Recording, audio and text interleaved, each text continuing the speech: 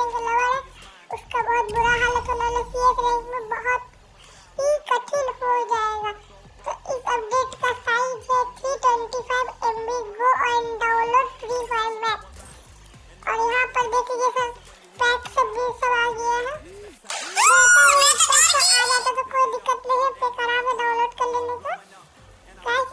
अच्छा क्योंकि बी में अब बहुत हार्ड हो जाएगा।